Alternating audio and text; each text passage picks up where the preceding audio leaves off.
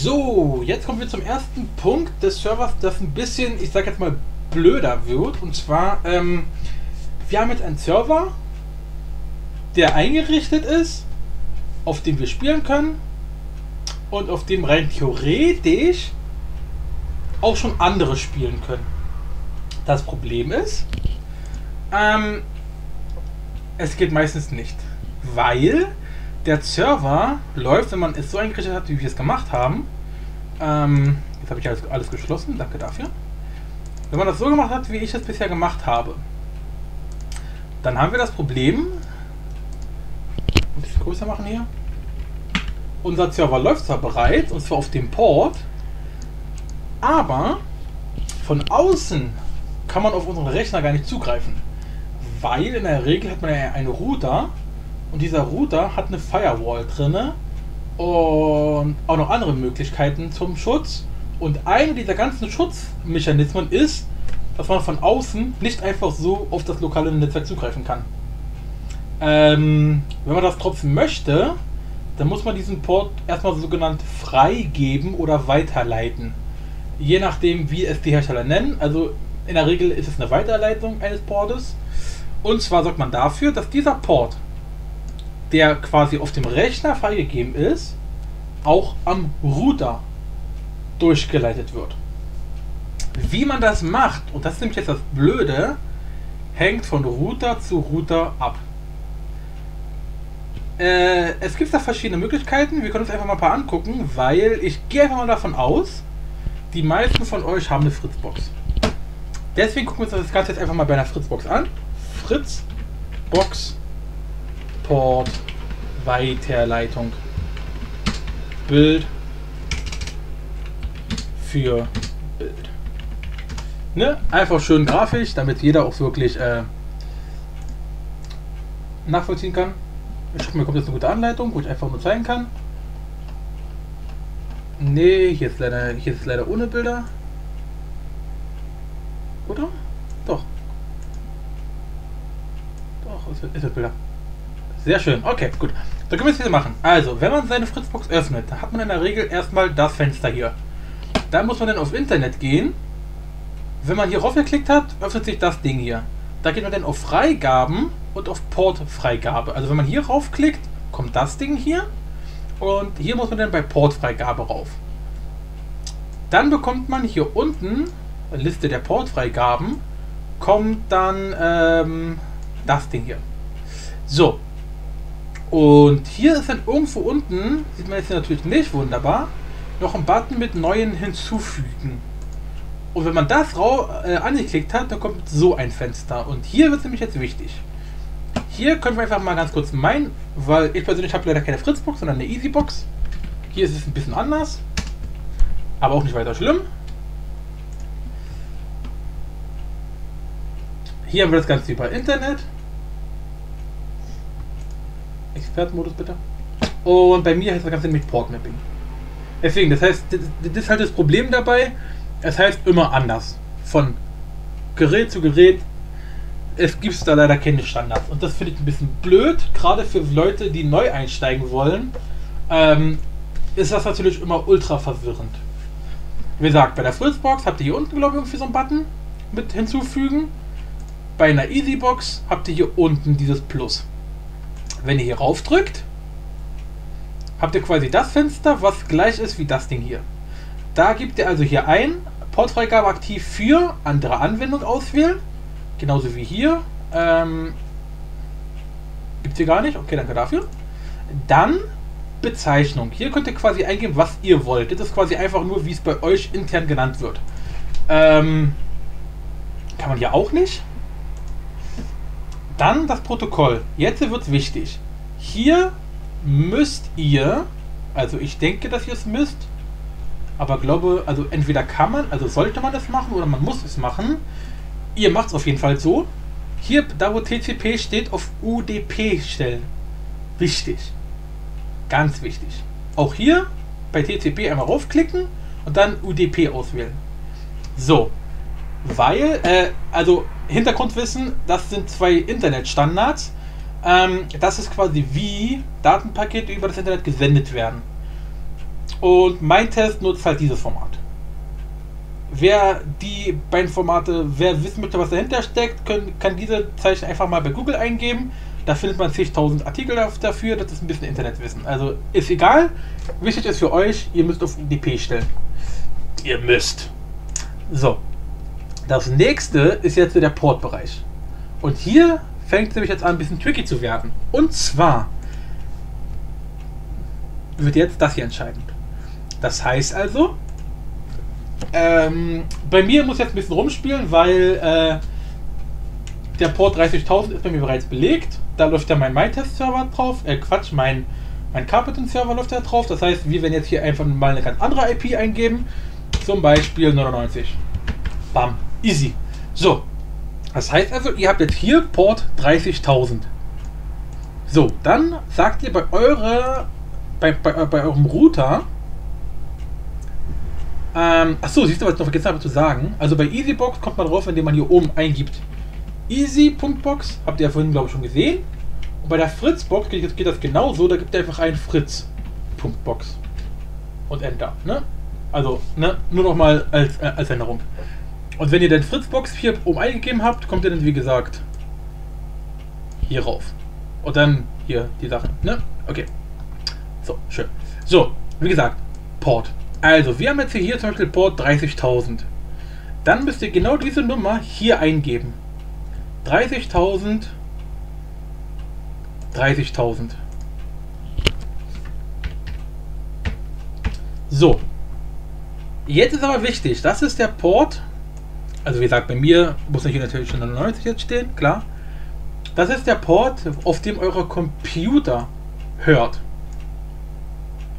In der Regel und das ist jetzt wirklich äh, wieder ein bisschen tiefgreifendes Wissen. Man kann hier auch einen anderen Wert eingeben, aber ich empfehle euch immer einfach den gleichen Wert einzugeben. Das heißt also jetzt hier auch 30.000 in eurem Fall, in meinem Fall 99. So. Alles wunderbar. Das heißt, bei euch müsstet ihr hier eingeben 30.000 und hier oben 30.000. Oder aber, wenn ihr so wie hier vorhin habt mit 30.005, dann hier 30.005 und hier 30.005. Oder aber hier 30.005 und hier 30.005. So. Und dann kommt jetzt das nächst Schwierigere. Und zwar müsst ihr jetzt sagen, auf welchem Rechner läuft euer MyTest überhaupt. Das geht unter Linux ganz leicht. Und zwar gebt ihr einfach, äh, also entweder per Menü, hier unten Rechtsklick und Verbindungsinformationen mein Rechner ist jetzt zum Beispiel äh, über WLAN angeschlossen. Das heißt das hier. Und da hat man dann hier unten die IP. Ansonsten kann man das Ganze auch über die, über die Kommandozeile herausfinden, und zwar if-config. Ja, das ist nicht Windows, nicht IP-config, sondern if-config. So, Steht nämlich für Interface. Für, die Leute, die jetzt sich fragen, warum hier if, if ist und nicht IP. So, und hier sieht man dann auch wieder unsere. Also ich mache mal kurz ein bisschen größer. So. Bam. Hier hat man also Ethernet 0, ist mein Netzwerk, das ist aber für mein internes Netzwerk. Ähm, mein Internet habe ich quasi hier rüber. Das heißt also, das ist meine Internet-IP. Äh, also nicht meine Internet-IP, sondern die IP, die mein Rechner aus Sicht meines Routers hat. So, und diese IP, die muss ich jetzt bei mir hier oben eingeben. oh, Chromium, das ist doch keine Hausadresse. Äh, äh, ja, klar. Okay, meine IP-Adresse ist Freiligrathstraße 140. Wow. Einfach wow. Nur weil die Adresse steht, ernsthaft? Äh, ist das traurig. Nein. Also, 192 da, da, da, dann 168, da, da, da, dann die 2, da und dann die 102, da, da, da. Perfekt. Das müsst ihr hier eingeben bei euch, wenn ihr eine Fritzbox habt. Und dann seid ihr eigentlich fertig. Dann könnt ihr hier unten auf Übernehmen oder auf OK gehen oder was auch immer hier unten stehen würde. Und bei mir gehe ich einfach auf Speichern. Bumm. Jetzt habt ihr das Ding hier in der Liste drinne. Beziehungsweise ihr habt, wenn ihr eine Fritzbox habt, das hier oben in der Liste mit drin irgendwo. Und das war's. Das war's. Jetzt ist euer Port auf dem Router eingerichtet. Und wenn ihr jetzt den Server startet,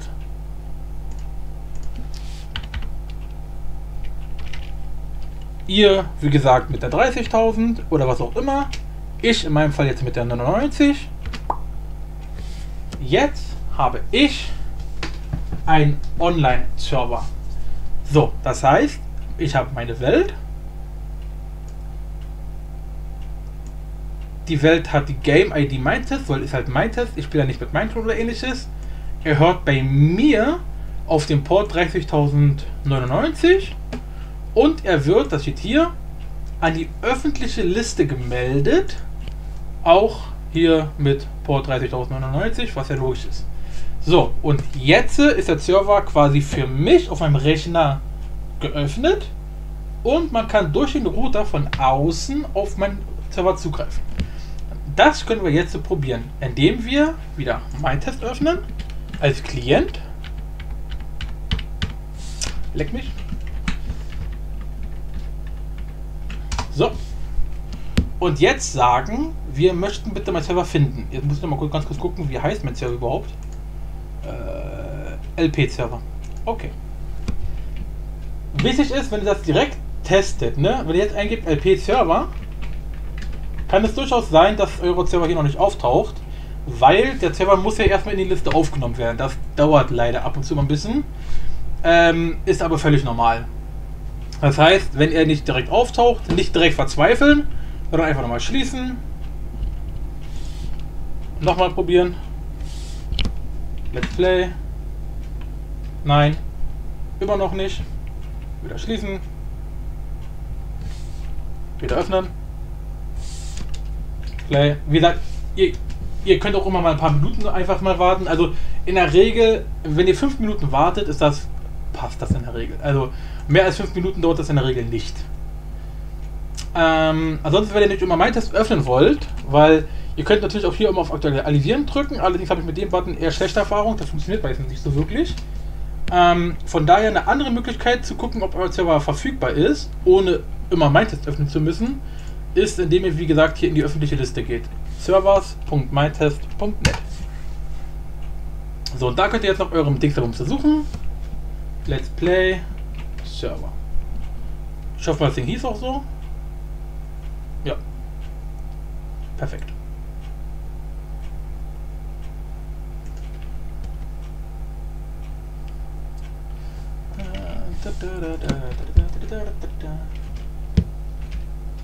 Ich bin mal gespannt, wie lange das dauert. Und wie gesagt, das ist jetzt immer ein Prozess, da kann man einfach nur warten. Also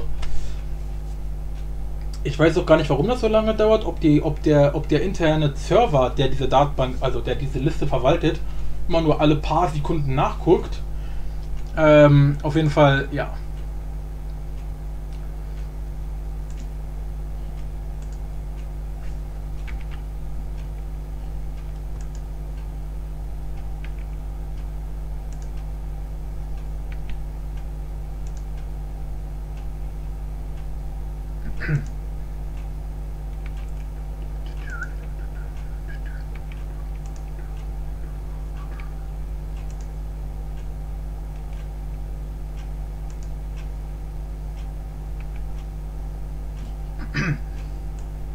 Okay. Verstehe.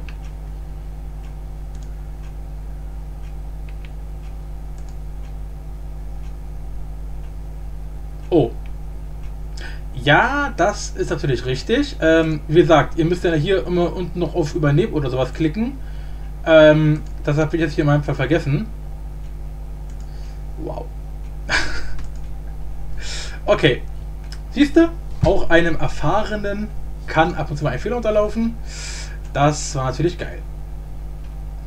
So, das heißt, da kannst du nochmal. Freiligradstraße 140, genau das, was ich brauche.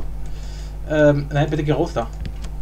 192.168.2.102 UDP. Ach, das, das kann ich richtig, richtig merken. Sehr schön. Speichern. Hä? Oh, was hat denn da gemacht? Easy.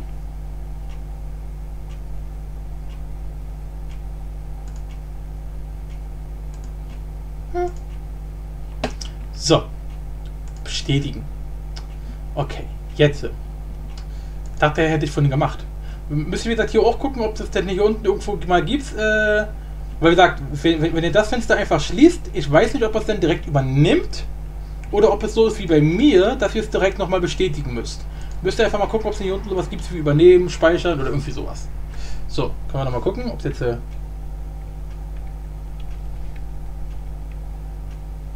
glaube, ich sollte mal selber nochmal neu starten, damit er sich nochmal neu anmeldet an die Liste.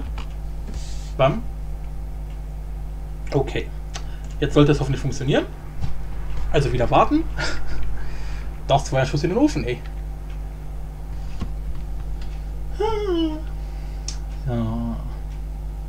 Wie gesagt, das ist der Moment, wo man sich normalerweise ein Stückchen Kaffeechen gene äh, genehmen darf. Oder in meinem Fall den Hals wieder ein bisschen befeuchten darf. Weil mein Hals sich einfach anfühlt wie ein Stück Scheiße. Und ich alles runterwerfe. Eieiei. So.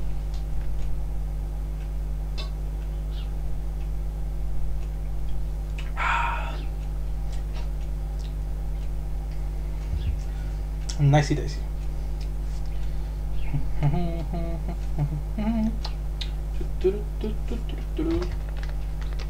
Nein, ich werde die Wartezeit nicht rausschneiden, damit ihr auch mal ein Gefühl habt, wie lange sowas unter Umständen dauern kann.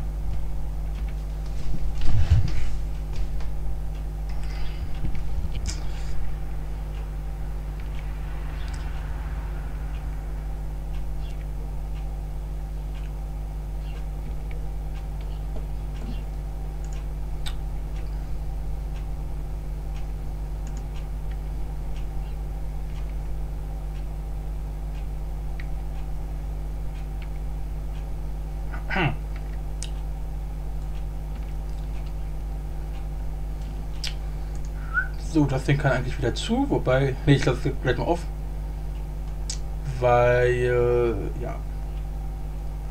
Spätestens, wenn die Folge vorbei ist, weil ich das Ding sowieso wieder raus kann. Das heißt also, ihr werdet euch später mit meinem Server wahrscheinlich nicht verbinden können, einfach weil ich den Server nach den heutigen Aufnahmen direkt wieder runternehmen werde, weil ist dann nur erstmal hier zum Erklären.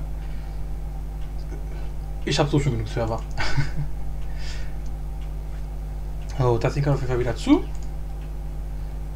Das Ding kann auch weg. Wie gesagt, ihr könnt, ihr, ihr könnt einfach mal bei Google eure, euer Gerät eingeben. Ich meine, wie gesagt, ist, ich weiß ja nicht, was gibt es noch. Äh, es gibt noch sowas wie Speedport. Speedport. Port Weiterleitung. Was gibt es noch? Also Fritzbox, Speedport, Easybox. Was gibt es noch so? Also, es gibt so zigtausend Geräte. Auf jeden Fall immer hier gucken. Portumleitung, Portweiterleitung. Jeder nennt es anders. Selbst hier das gleiche Gerät zweimal das gleiche Gerät und es wird anders genannt. Also es ist schon ein bisschen wahnwitzig.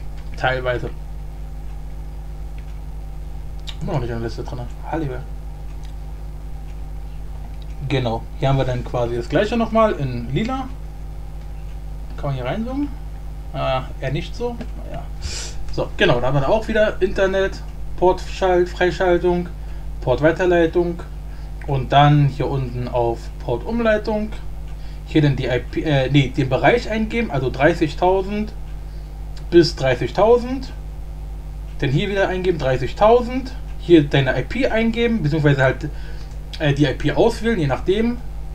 Und dann auf ähm, Speichern. Ja. Gibt es denn noch was? So, mal gucken, ob hier mittlerweile. Ja, sage mal. Das dauert jetzt aber echt halt schon lange hier. Ich habe ich, ich hab offen gesagt nie gemessen, wie lange es wirklich dauert. Von daher bin ich jetzt selber gerade ein bisschen, äh, ja, mal gucken, wie lange es dauert.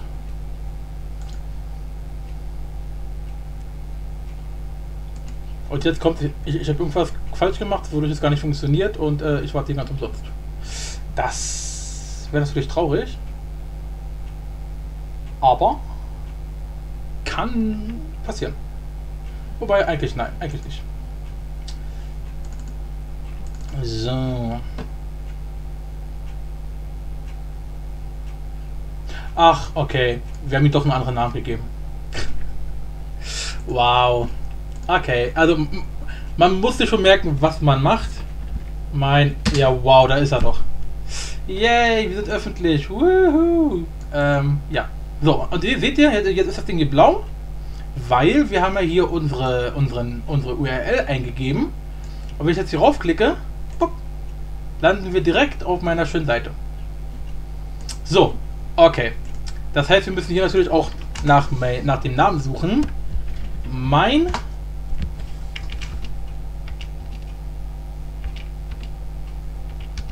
Warum taucht er nicht auf?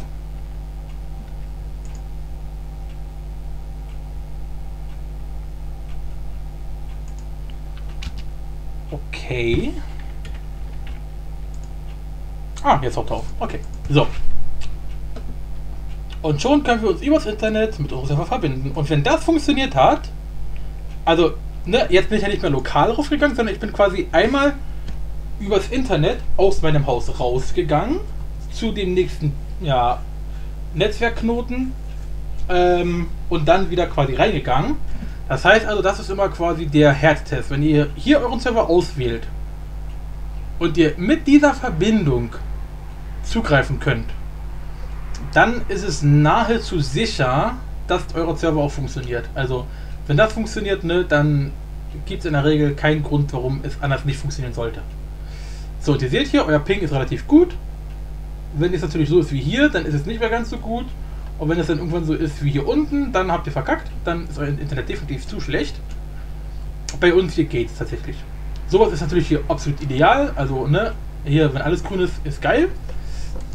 Bei mir leider nicht, weil ich, ich lebe hier auf dem Dorf. Da ist äh, Internet sowieso immer so ein bisschen blöd. Ja, und jetzt haben wir quasi alles, was wir haben. Wir haben einmal die URL. Ne, die konnten wir hier auswählen. Konnten wir hier raufklicken, wo ist der jetzt schon wieder gelandet? Die Liste wird immer wieder neu sortiert. Äh, was, hab was, was tue ich gerade? Danke. Genau hier. hier. Ihr könnt hier raufklicken. Dann haben wir noch äh, dem Server einen eigenen Namen gegeben, was ich vergessen hatte. Dementsprechend heißt der natürlich hier auch so. Wenn ihr, wie gesagt, wenn ihr das hier rauslasst, dann heißt der Server genau so, wie die Welt heißt. Heißt also, dann würde die Welt halt Let's Play Server heißen. Weswegen ich auch gerade eben danach gesucht habe. Aber wir hatten ja hier einen Namen eingegeben, also ist das natürlich der Name. So, dann hatten wir hier eine Server Description. Die steht jetzt hier, weil wir hier angeklickt haben. Deswegen hier ein Server zum Spielen. Ähm, dann können wir uns damit den Server natürlich verbinden. Bam.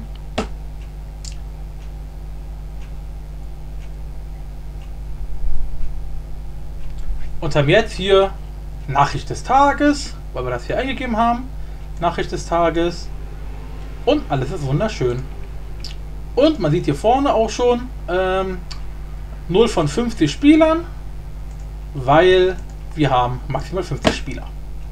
Ja, das funktioniert also auch. Perfekt. Dann würde ich mal sagen, das war es dann auch schon. Ähm, Genau. Das heißt, wir werden dann morgen äh, dafür sorgen, die ersten Automatisierungsskripte zu entwickeln. Was das genau ist, werde ich dann morgen dementsprechend, also werdet ihr dann morgen sehen. Ist relativ easy, keine Angst. So. Ja, auf jeden Fall für heute dann Schau mit V.